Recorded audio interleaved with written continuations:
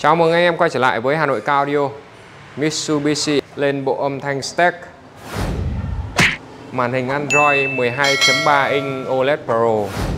À, Camera hành trình KC01 à, Ở trên bộ này thì à, sử dụng một bộ âm thanh stack cộng với loa sub DLS, sub quốc dân chúng tôi lắp rất là nhiều.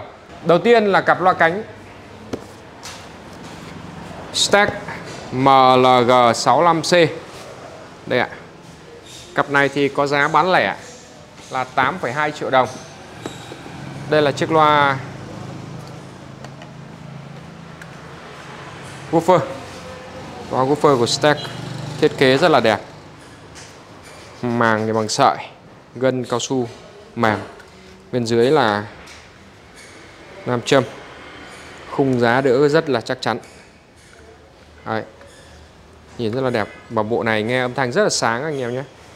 Tiếp theo là Kèm theo bộ thì có Một bộ phân tần stack. Tuy nhiên để xe này à, chúng tôi đánh full active Đâm ra là sẽ bỏ phân tần.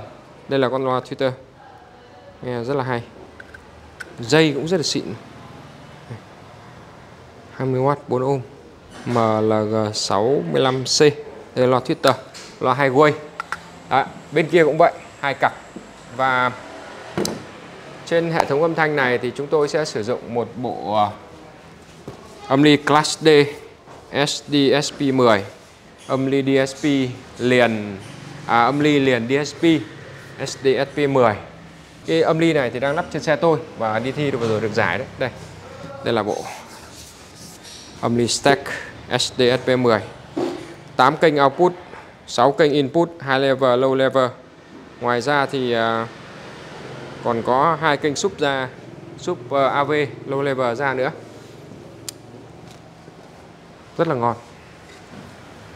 Ngoài ra ấy để vận hành được chiếc âm ly này ngon nghẻ và hay nữa ấy, thì ngoài cách là chúng ta lấy đường tín hiệu từ màn hình ra âm ly thì chúng ta còn sử dụng có cách nữa là sử dụng uh, module Bluetooth. Bluetooth này là Bluetooth 5.0 cho ra âm thanh cực kỳ hay trong các dòng DSP thì uh, Stack sử dụng cái con Bluetooth này đánh nghe rất là phê hay hơn rất là nhiều so với trực tiếp từ màn ra.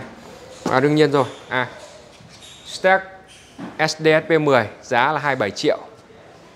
Module Bluetooth có giá là 1 triệu 990 nghìn giá bán lẻ. Ngoài ra để vận hành nó thì có sử dụng một con DSP Remote Control con này có giá là 1 triệu 590 nghìn Nó là cái dây điều khiển mà. Đây. Là cái dây điều khiển thôi. Dây điều khiển này thì Ở trên bộ dây điều khiển này thì chúng ta có thể là Đổi mốt này. À, Chúng ta có thể là Tăng giảm súp này Tăng giảm âm lượng này ờ, Đổi tín hiệu đầu vào. Ví dụ như là Bluetooth hay là High Level hay là AUX hay là đường tín hiệu vào khác nó có bốn kiểu đường tín hiệu vào đó. Ngoài ra thì con súp DLS thì tôi không phải nói nữa. Súp DLS thì 7 triệu rưỡi. Chúng tôi làm rất rất là nhiều và hầu như tất cả các video chúng tôi đều có. Uhm, phụ kiện đi kèm thì có đây. À chiếc xe Mitsubishi này thì có dưỡng theo xe những cái dưỡng loa này này. Chút nữa tôi sẽ gá thử cho anh em xem. Dưỡng loa này là dưỡng loa gá theo xe luôn. Để làm gì? Khi mà mình gá vào ấy gá lên cửa ấy, thì mình sẽ đặt cái loa này lên này. Nó vừa khít luôn vừa khít luôn. Và làm thi công rất là gọn rất là đẹp. Ngoài ra thì còn có một thứ nữa rất quan trọng nó là một cái mút vành loa. Mút vành loa để làm gì thì ở phần tiếp theo video chút nữa tôi sẽ quay để anh em có thể hình dung ra. Ví dụ như bây giờ tôi đang đợi như này. Đấy thì làm cái mút này để làm gì? Nó cho ra một hướng âm thanh ra một hướng. Sau khi ốp W vào nó kín xung quanh này âm thanh nó ra một hướng. Đấy. Nghe âm thanh nó rất là hay và cái giải bass cộng hưởng nghe hay lắm. Chiếc xe này thì còn làm uh, chống ồn. Chống ồn có rất là nhiều loại. Thì tôi ở xe này sử dụng cái ờ, Ruba Black. Thường thường thì tôi cũng sử dụng cái chống ồn Stack X3 tấm đó được ờ, chứng nhận ờ, uh, ROHS nhưng mà cái này cũng rất là tốt. Super. Thì cái ở xe này chúng tôi làm hai lớp. Trong này một lớp này. Trong này một lớp sau đó là ốp bên ngoài này một lớp nữa. Rồi, sau một hồi thi công thì đây là chiến lợi phẩm của anh em ta. Đây, những cái miếng chống ồn bên trong cửa lớp thứ nhất. Đấy, anh em tôi đi vào trong đây, như thế này. Đây là lớp thứ nhất. Chút nữa sẽ làm lớp thứ hai, tôi đang để mở để cho anh em nhìn thấy. Và đây, chiến lợi phẩm. Những cái loa theo xe, anh em mình đã tháo ra. Đây, cái loa nằm chầm bé tí côn loa cũng rất là bé. Đây côn loa bé tí. Màng loa thì bằng giấy. Và cái gân loa thì bằng lụa. Đặc điểm của những cái loa này thì công suất thấp. Và đánh ra tiếng bass nó cứ pạp pạp nó không được căng. Đấy. Thế nên là bây giờ chúng ta sẽ thay bằng à, loa đây là S à xin lỗi sẽ loa stack. Thì đây là cánh phía sau này. Đây, cái này thì chúng tôi đã thi công hoàn thiện rồi. Một lớp bên trong, sau đó là ốp lớp bên ngoài rất là cứng. Anh quay phim có thể quay gần vào chi tiết để mọi người có thể thấy là đấy, cái chất lượng thi công của anh em mình. Đấy, đây là loa phía sau. Đấy, sau khi lắp xong thì đây. Làm rất là kín loa làm rất là kín để sao là cho nó đánh ra một chiều cái màng loa. Sau đó chút nữa mình ốp cái tabi vào thì cái chỗ mút này này nó sẽ nó sẽ ốp vào cái phần uh, lỗ thoáng của cái tabi ấy. Thì khi mà đánh ra thì loa đánh ra một chiều và một cái thùng loa chắc như thế này thì sẽ tạo ra một cái âm bass rất là sâu và cộng hưởng. Còn đây là cái phân tần. Phân tần anh em chúng tôi đấu nối này. Đấy, thì đây đầu dây đấu nối cực kỳ cẩn thận. Nói chung là anh em bỏ ra số tiền để lắp một bộ loa như thế này thì anh em sẽ nhận được về nhận về được cái chất lượng như mình mong muốn. Và ở đây thì anh em chúng tôi thi công rất là chỉn chu. Sang bên này đi đây. À, phía bên này cũng vậy này. Đây là chỗ mà đây là cái cánh sau mà anh em tôi đã thi công xong này. Đấy. tạo thành một cái thùng loa rất là chắc chắn. Đấy. Được chưa? Đấy, đây. Cánh đằng trước đây cánh lái này. Đấy. Đây là cái vị trí cánh lái chúng tôi thi công vào thùng loa rất là chắc chắn oánh đảm bảo nó không bị rung mà sau khi làm chống ồn xong thì đi xe cũng sẽ bớt ồn hơn. Và đây là cái loa cánh lái đây, đây stack. Đặc điểm là màng loa bằng sợi và cái gân loa cao su đánh ra tiếng bass rất là nảy sâu. Loa tweeter thì chúng tôi lắp lại lên trên này. Lắp vào đúng cái vị trí gì đây đấy. Và cái dây nối thì sử dụng rắc nối tiêu chuẩn ngoài ra thì trên bộ trên chiếc xe này thì chúng tôi còn lắp thêm ờ, à, hai chiếc loa mít ở hai bên góc như thế này. Bởi vì hôm nay vội quá chúng tôi cũng chưa làm được cái cột A nên là lắp tạm lên trên này. Đây đang để tạm lên trên này thôi. Để nghe thử mấy ngày Tết đã. Sau đó thì ra riêng à, có thời gian rảnh thì mình sẽ đưa nó lên trong cái đưa lên trên cái cột A. Đấy. À, dây dợ thì sao? Đây. Đây là dây anh em chúng tôi đi đâu nhỉ? Cuộn dây. Đây là cuộn dây. Đấy, thì cái cuộn dây. Đây là cuộn dây này. Đấy, dây này là dây à, 14 gao bằng đồng. Đấy, là những cái sợi dây mà anh em chúng tôi đi nó bọc rất là cẩn thận. Đấy, sau đó đi vào âm ly. Âm ly đây. Dây nguồn cũng vào âm ly đây. Đấy. Từ âm ly ra này. Rồi rắc cắm này. Rắc cắm này đấy âm ly stack sẽ đặt ở chỗ vị trí dưới ghế lái. Đây là hai cái dây nguồn dây mát và dây 12V đó. Và đây là cái cầu chì chia này. Cầu chì chia thì ờ, nguồn tổng xuống dưới này. Đó sau đó sẽ chia hai. Một ừ, đầu thì ra uh, âm ly còn đầu còn lại thì ra con súp ở bên kia. Đấy thì anh em chúng ta sẽ di chuyển lên phía trước để chúng ta xem cái phần cầu chì bên trên. Đây đây là phần an toàn.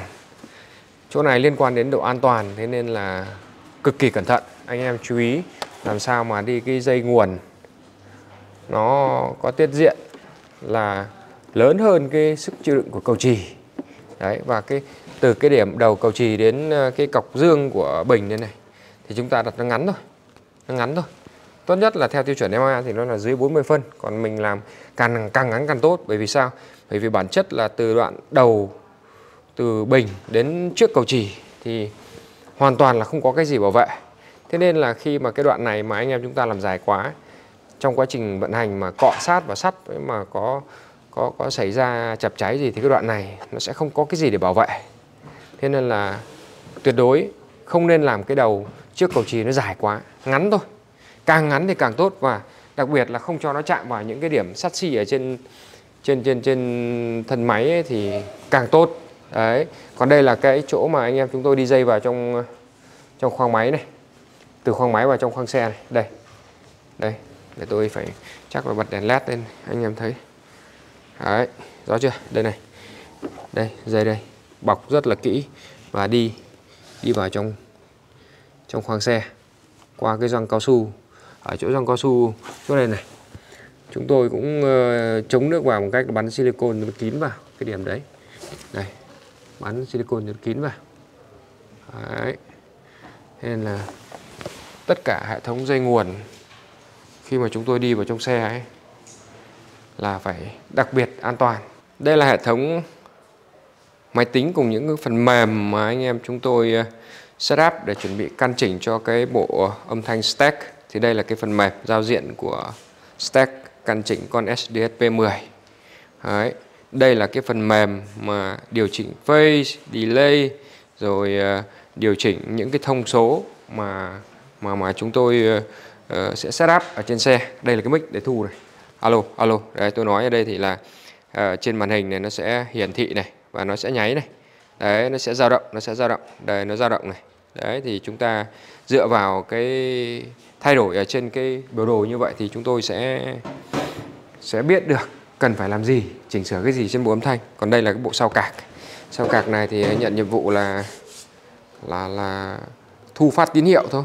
Cái này nhiệm, nhiệm vụ thu phát tín hiệu để truyền vào hiển thị trên cái phần mềm trên máy tính. Đó. Còn bên này là chỗ mà anh em chúng tôi đã vừa thi công xong. Ở phía bên này đây là vị trí mà anh em chúng tôi lắp uh, chiếc loa súp anh em thợ đang thi công ở đây. Đây là chiếc loa súp mà anh em chúng tôi lắp, súp 10 anh em nhìn thấy dây dạ này. Dây nguồn rồi là dây âm thanh. Bọc cực kỳ cẩn thận. Có lẽ, đấy, bọc rất là cẩn thận. Anh em nhìn ở những cái cổ dây này, nó không hề hở ra đến 1 mm luôn. Sau khi ờ, đặt loa súp xong thì chúng tôi có những cái tai này. Tai này, ở đây có tai này, thì chúng ta sẽ bắt ốc xuống ờ, sàn xe để làm sao mà khi đi xe ấy rung sóc thì súp nó sẽ không nhảy nó sẽ không bị nhảy không bị di chuyển thì dẫn đến là hở đầu dây gây ra chập cháy. Đấy. Nên là làm xong chúng ta phải bắt vào. Khít. Đấy. Đây là chất lượng thi công của anh em chúng tôi. Cho chiếc ờ, uh, loa súp âm ly và bộ âm thanh. Ở phía bên này thì chúng tôi lắp cái màn hình Android OLED Premium 12.3 inch. Nó sẽ đặt vào sẽ như thế này đấy. Anh em nhìn hơi bị lệch đúng không? Bởi vì anh chủ, anh yêu cầu là anh chỉ cần nó có cái màn hình ở đây và cứ đặt lệch sang cũng được. Làm sao mà cho cái màn hình nó to to như này và nó không bị khuất cái điều hòa quá nhiều. Thế là được, đấy. Thì cái màn hình này cũng là cắm rác hết thôi. Và nó, ở trên bộ âm thanh này thì sẽ có hai cách để chúng ta kết nối âm thanh. Một là từ trên màn hình này xuống âm ly hai nữa là chúng ta sẽ chạy bằng một con module bluetooth cắm trực tiếp vào vào âm ly. Sau đó là chúng ta sẽ sẽ sẽ sử dụng điện thoại. Đấy chúng ta sẽ phát trực tiếp từ điện thoại ra thì âm thanh nghe cực kỳ hay và cực kỳ chất. Vâng, đó là toàn bộ những chi tiết mà anh em chúng tôi đang thi công trên chiếc xe Mitsubishi Outlander này, đặc biệt là bộ âm thanh. Loanh quanh 60 triệu. Tôi ờ, đương nhiên là trước khi làm việc với khách hàng thì chúng ta đã chúng tôi đã chốt lại giá thành cũng như sản phẩm lắp đặt thì tôi có thể khái quát qua là chiếc âm ly SDSP10 của Stack Class D liền DSP có giá là 27 triệu này. À, module Bluetooth giá là 1 triệu 990 nghìn à, cái remote điều khiển để thay đổi chế độ tăng giảm âm lượng tăng giảm xúc có giá là 1 triệu 590 nghìn cặp loa cánh stack MLG 65C giá bán lẻ là 8 triệu 200 nghìn hai cặp với là 16 triệu tư. Ngoài ra thì có thêm chiếc loa súp DLS giá là 7 triệu rưỡi. Ngoài ra thì còn vật tư dây cũng là dây xịn dây uh, uh, bằng đồng nguyên chất của hãng Magic và dây này là dây 14 gao. Chúng tôi đi mất khoảng độ ờ, 40 hay 50 mét dây gì đấy nói chung là chất lượng đi dây và chất lượng đấu nối thì cực kỳ an toàn. Anh em đã thấy trong video rồi. Đó, ở dưới góc phải màn hình luôn luôn có chữ đăng ký kênh. Anh em hãy bấm đăng ký kênh để ủng hộ Hà Nội Cao Audio nhé. Xin chào, tạm biệt và hẹn gặp lại.